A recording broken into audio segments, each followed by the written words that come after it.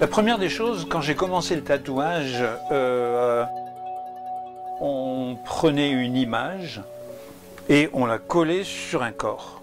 C'est-à-dire donc, voilà, un Américain voulait euh, euh, un, drapeau sudiste, alors il choisissait sur le catalogue le drapeau sudiste et je reproduisais le drapeau sudiste sur la peau. Ensuite, quand je suis arrivé en Polynésie, là j'ai découvert le, tatouage polynésien qui lui est à la base d'une histoire.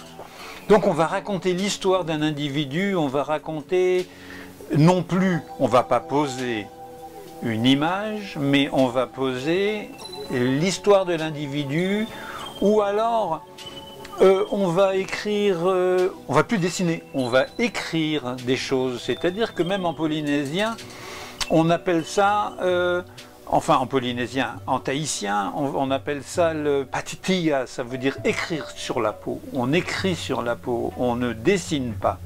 Et puis maintenant, quand je suis arrivé en, Thaïlande, j'ai été passionné par justement les, les tatouages traditionnels thaïlandais. Euh, qui sont effectivement euh, euh, très intéressants au point de vue visuel, très, très, très surprenants. Et en étudiant ces tatouages-là, je me suis rendu compte qu'il s'agissait en véritable magie. C'est-à-dire qu'en fin de compte, on va, on va mettre dans la peau des formules magiques qui vont protéger l'individu des coups de couteau, qui vont protéger l'individu contre euh, des coupures, qui vont le rendre plus séduisant, qui vont euh, lui donner un, une aura, par exemple, un, orateur ou un, euh, un, homme politique va aller se faire tatouer un sakiante pour être mieux aimé de, des gens qu'il euh, qu'il essaye de relier à sa cause. Donc effectivement, on arrive à, un troisième niveau. Le premier niveau, l'image. Deuxième niveau, l'histoire. Troisième niveau, la magie. Le sakyant est pratiqué dans le bouddhisme. En fait, il y a beaucoup de moines qui tatouent qui font des, véritables tatouages magiques, comme j'en ai, j'en porte ici et là, ce sont des moines qui m'ont tatoué. Mais seulement, les moines n'ont pas le droit de toucher des femmes. C'est interdit. Donc il y a pas mal de moines qui, pour pouvoir tatouer la jante féminine, sortent de leur euh, chemin monastique pour devenir de véritables sakiantes euh, à part entière, où en fait euh, ils gardent le côté mystique, le côté en lien avec des croyances religieuses, mais mais ne sont plus moines, c'est-à-dire qu'à ce moment-là, ils peuvent tatouer tout le monde et, donc même les femmes. C'est un peu issu aussi de la tradition des reishi, c'est-à-dire les, les, méditants qui vont aller se réfugier dans la haute montagne et qui vont développer des potentiels extraordinaires par la méditation et par l'isolement. Donc ces gens-là, eux aussi, développent le, savoir euh, tatouer, la magie.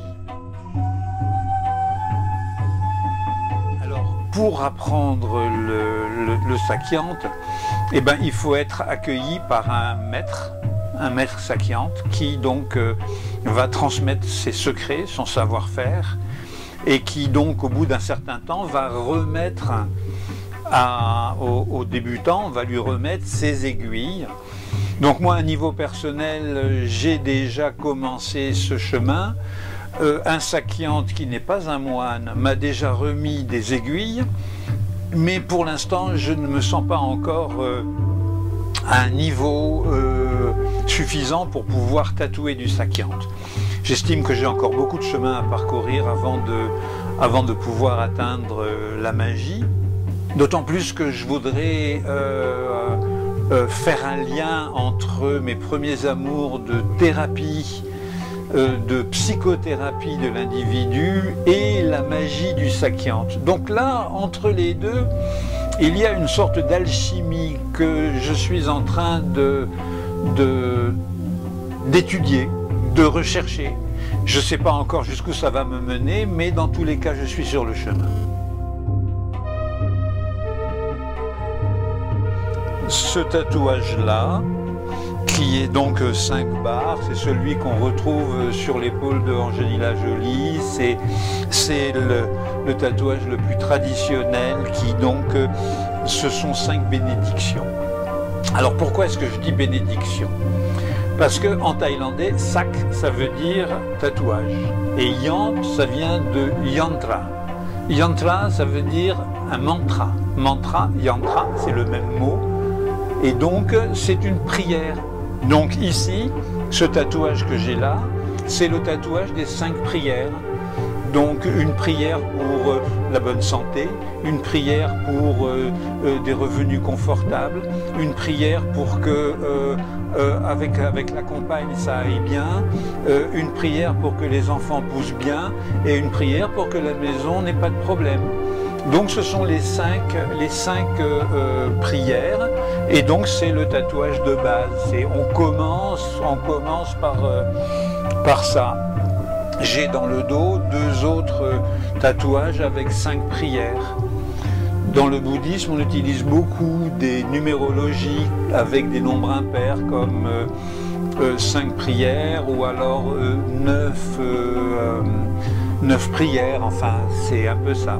Maintenant celui-ci là qui est là, qui est un, un, un tatouage qui représente le chemin de la vie et un stupa. Donc il faudrait le regarder dans ce sens-là. Celui-ci. Et donc ce, tatouage-là, euh, je l'ai choisi plus pour l'esthétique. Et quand je l'ai présenté au sakiante, euh, parce que là ce n'est pas un moine qui m'a tatoué ça, c'est un vrai sakiante, euh, et il m'a dit ça c'est un, c'est un porte-bonheur pour la séduction. Alors voilà, maintenant depuis que j'ai ça, je suis immensément séducteur, toutes les nanas tombent à mes pieds, c'est génial.